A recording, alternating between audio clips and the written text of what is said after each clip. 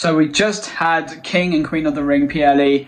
And let me know in the comments your thoughts of this show. I mean, I, it was a fantastic show in my opinion. Cody Rhodes versus Logan Paul nailed it. They fucking, they were, man, that was probably the match of the night.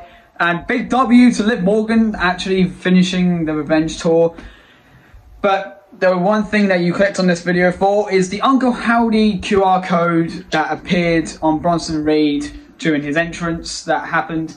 And yeah, this is the video that actually came up.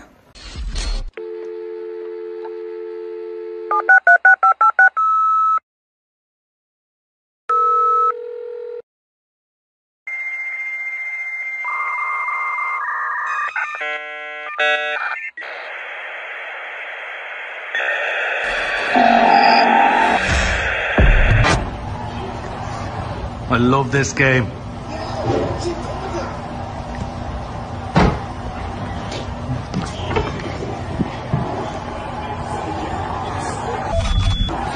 Hello?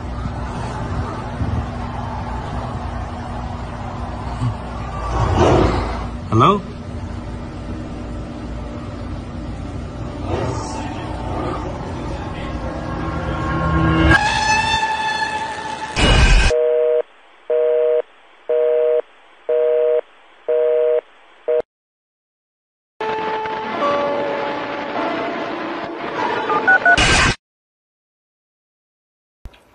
I mean, it, to be fair, it was unfortunate that he didn't make an appearance, but I reckon they're probably saving it for a crowd that's going to be exploding, and it's going to be a massive pop because you know it'll be a massive.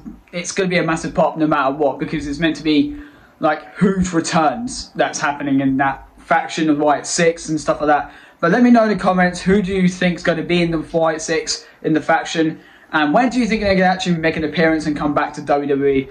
But yeah, thank you all so much for all the love and support you guys have been showing me on my TikTok and my YouTube channel and stuff like that. Like and subscribe, and I'll see you guys in the next one. Peace.